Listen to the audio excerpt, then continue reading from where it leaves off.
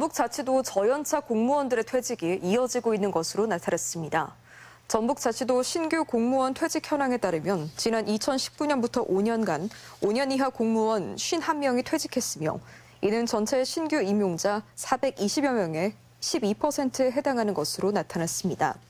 김만기 도의원은 극성 민원인 응대와 취약한 공무 수행 환경 등으로 젊은 세대 공무원 퇴직이 늘고 있다며 적응을 돕기 위한 대책 마련을 촉구했습니다.